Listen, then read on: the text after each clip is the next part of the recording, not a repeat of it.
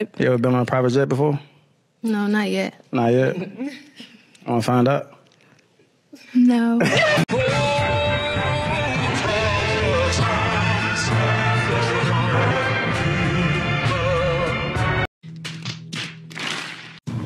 Okay, first of all, You're here I need to right say now. something. Okay. You know I have a boyfriend, Right. but we are on and off. Okay.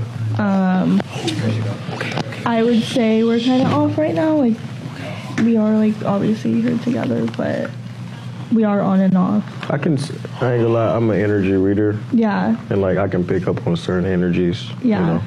know? Um, I just want to make that clear. Yeah. I have a boyfriend, but Mhm. he isn't here. Um, we're I'll, I'll be here for a couple days. So I just feel weird if I kiss you and he's like in another room. This is a separate room from everything. Like I ain't. I ain't gonna lie. I ain't. I ain't gonna convince you to kiss me or nothing like that. But What are you doing later?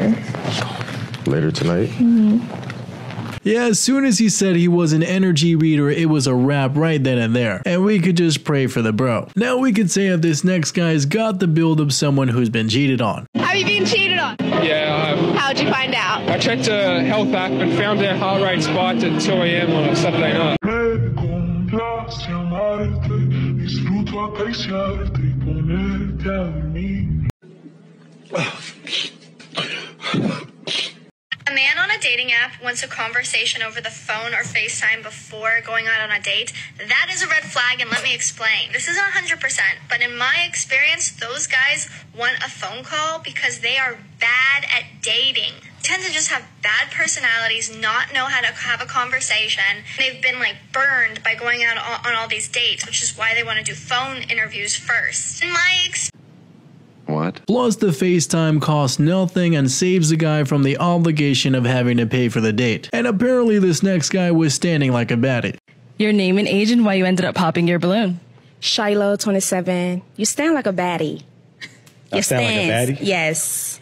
And I'm traumatized. Look. Okay, that's cool. So that's the only thing. Okay. Yeah. That's cool. What's your age? That's rude. I'm 51. 57. We've been together for 23 or 4 years. Married 22. How do you handle the bills in your household? Uh, I pretty much pay. He pays them. I spend it, he's, he pays for it. What's his is mine. What's mine is mine. You think that's fair? Actually, we took, we had shifts in this. I mean, early marriage, I worked and there were moments where I helped out more. But uh, yeah, it's real fair. Because I have four kids. There's a lot, I have a job. It just, doesn't make money. So how much were you making at the time when you were raising four kids? Oh gosh. I don't know. It's been so long. It's been 21 years ago. Like six figures? Were you all rich, or was it kind of like, oh my goodness? It was six figures. Yeah. We did, we, we did well. Yeah. Very entrepreneurial, this man. I spend it, he's, he pays for it. Well, we do know that this guy was much happier 22 years ago, and it's sad because she should be his teammate instead of his opponent. Now, this next guy was speaking some facts. In 10 years, nobody gonna say, oh, how many what did you do? Who did you impact? You can tell the stature of a man not by how much money or how much materialistic things he having. How many lives have you positively impacted? Keyword positive. Good job, my brother. We rocking with you. Reason why I haven't really dated in the last six months is because I've, I have been so focused on myself that if someone were to come into my world, they would need to be a guy who creates a multi step plan for a date or just in general is super thoughtful because I am super thoughtful about myself and I'm super intentional about myself. Biggest turn off in dating is when a guy literally just replies to your Instagram story or likes it and then it's like, hey, do you want to like come over? Level of dating nowadays has gotten just so bland. Like, what happened to the days where people are writing handwritten notes as if their life were depending on it? Huh? Yeah, it's probably because a number of guys have been burned before, so then they decided not to put in the effort anymore. And next we have a chick who was disappointed that her boyfriend just didn't want to spend money on her. Why'd you break up with your ex? Because for his birthday, I made us reservations to the nicest restaurant in Baltimore, planning to spend $400. And I did, and I made those reservations a month in advance in high school, saved up $400, and then my birthday comes around, and he got me not a note, not a card, no flowers, nothing. So I was like, you, you're done. Did you ask him why he didn't invest in you? Um, he was like, I don't have the money. We're co-workers. I know how much money you make. I know what hours you work. You have the money to buy your girlfriend flowers. So there weren't any signs leading up to it that There, there were. He would never really plan stuff or anything, but I was like, you know what? I'm type A. I'm a planner.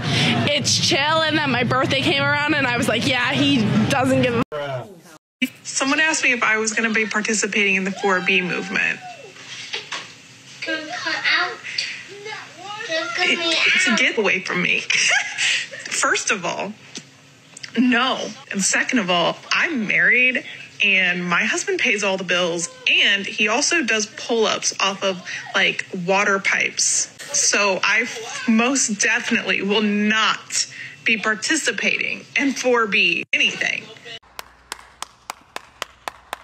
Well, we can say that the 4B movement can show us who not to date. Now, you won't believe this next scenario. You gotta pay for my kids' food. What? Yeah, don't do that. Don't do that. Why you not Listen. bring food, please? When I get her kids some food, they with they with their daddy. Uh, oh, she bald. Let their damn daddy get them some food. She was right here. They daddy should be feeding them. You say you order a steak for your son. How old is he? He ate. He ate eating steak. He eating the same thing I eat. No. A steak? Oh, hell no. That ain't for her son. That's for her damn baby daddy. Stop it.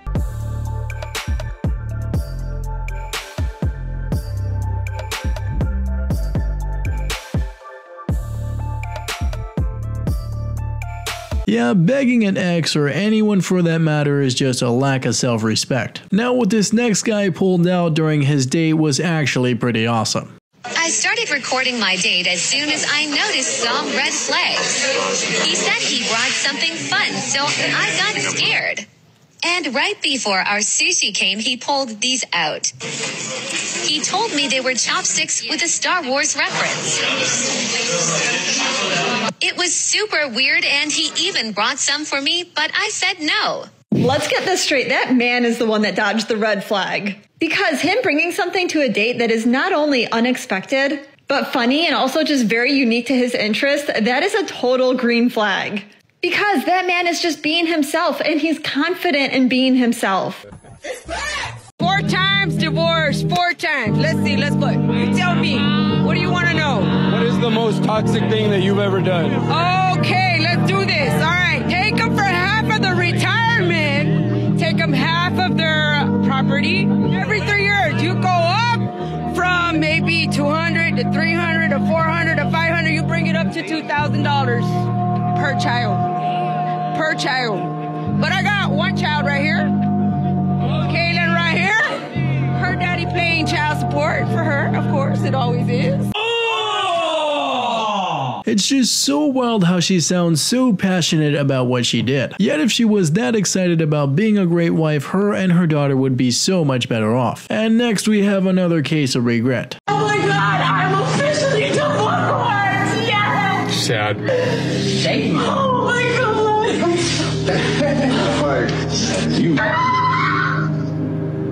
I'm officially primary custodian of the kids. What about the child support? That's it? Tony, that's crazy. Why? Are you kidding me?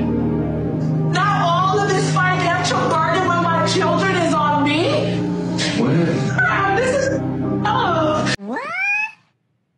What'd you do?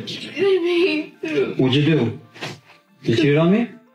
Because I tell you you're gonna leave me. Just say yes or no. All you have to say is yes or no. I don't want an explanation. You're gonna leave me. What'd you do then? You cheated on me? Say yes or no.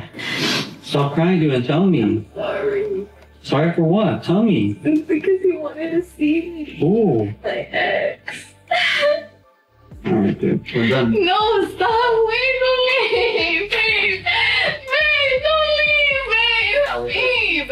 Okay, all your Oh, what happened? you went to go see him. That's what happened. dude. All your- Okay, but you don't even know what happened. Babe, stop. Don't grab that. We're No, done. don't take my stuff.